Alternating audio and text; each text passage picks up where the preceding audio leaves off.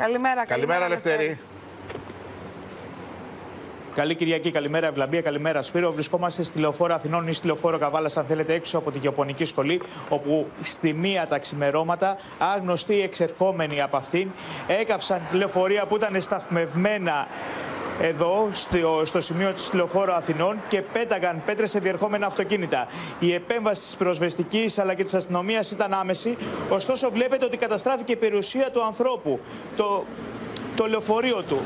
Χάρη στη βοήθεια του οπερατέρ μας, του, ε, βλέπουμε εδώ τι, τις ζημιές έχει υποστεί το λεωφορείο.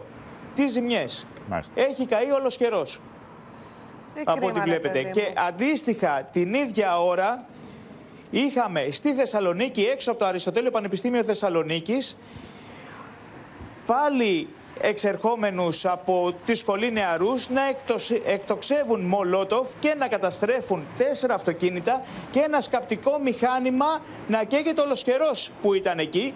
Βέβαια, εκεί υπήρχαν και προσαγωγές. Αλλά η εικόνα από ό,τι βλέπετε μιλάει από μόνη της. Είναι πραγματικά αμαρτία αυτό. Να καταστρέφεται έτσι η περιουσία του κόσμου που το εργαλείο που έχει για το μεροκάματό του. Ναι, ρε παιδιά, είναι πολύ κρίμα. Τώρα στο Γιώργο θεατές είμαστε. Τώρα, επειδή είπες και για τη Θεσσαλονίκη και οι τηλεθεατές μας έχουν αντανακλαστικά, μας έχει στείλει και μια φίλη τηλεθεάτρια ένα βίντεο από τα επεισόδια στη Θεσσαλονίκη όπως τα έχει Θέλετε να μας πείτε καταγράψει. κάτι;